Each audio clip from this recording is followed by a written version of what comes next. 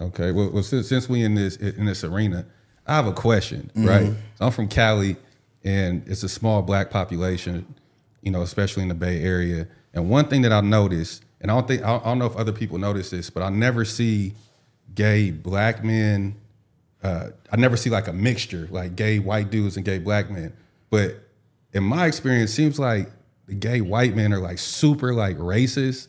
Or what is your experience with that? Is there any truth to that?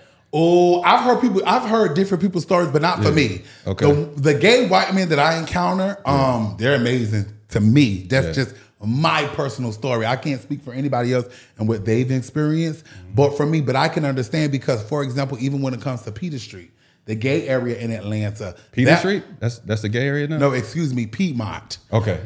Excuse me, not Peter, Piedmont. Okay. That was a creator for us. That was created for gay white men.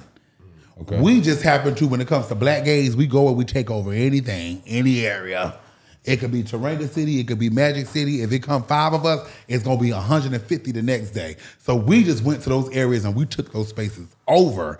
But those areas wasn't created for us. So I can get how other people have had those segregation um, um, stories when it comes to white gay men, but not for me. Okay. They have always been pleasant to me, giving me opportunities that people don't even know behind the scenes. So no, I can't attest to that from my personal experience. Okay. Cool, cool. And then um and then all right, so moving on to the social mm-hmm. media, right? So you're famous for jumping in the air and doing your thing. You no, but I'm famous for more than that. yeah, yeah, respectfully, right? Yeah. So what what what brought my attention because when he was like, "Yo, the IG," I was like, "Oh, that's the dude that jumps in the air." You know uh-huh. what I'm uh-huh. saying? So where, Why where, so many straight men that know that? Like, but, oh see, my but see, God. This is, this is the thing. It when it's you, it sounds bad. It sounds like somebody's minimizing you. Uh-huh. You know what I'm saying? And they're being dismissive of all the other things. You uh-huh. like like uh the homie, uh, my co-host for the, another channel. Uh-huh. He did, he pretty much is known for yelling at females. Yeah. And so at first it's like, uh, but that's what people know you for, and it's simple mm. and it's it's digestible. You know what I'm saying? You don't want it to be like extra out. You feel uh-huh. me? And it, and uh, so what, so that's dope because the best content is simple.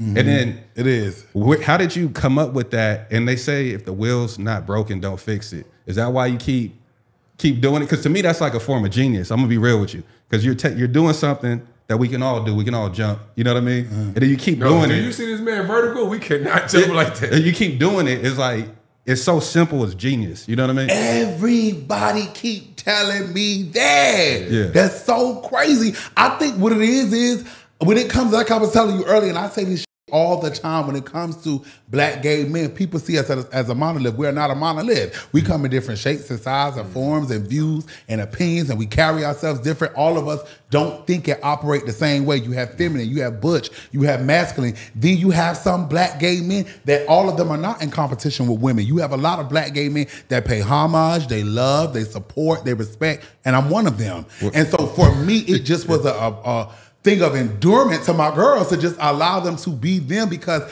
I my personal experience I know a lot of people have their own personal experiences, but for me, speaking for my life, it was women who saved me, in particular, black women.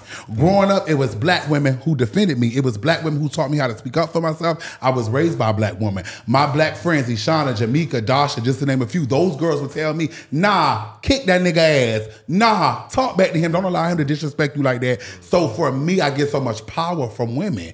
I learn, I operate, I walk, I talk from women. And so it's never competition.